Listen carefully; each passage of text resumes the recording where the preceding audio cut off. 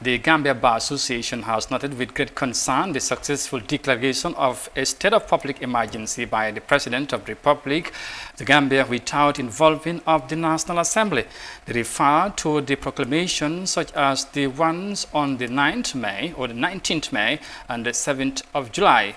As the National Assembly closes by 15th of July, it is likely that the President will declare a 21 day after the expiration of the current declaration by a day before. The first declaration of the state of emergency came from the President of the Republic following confirmation of the first case of COVID-19 in the country in March 2020. Following the expiration of the first state of public emergency, which lasted for seven days, the National Assembly approves its extension for 45 days in April.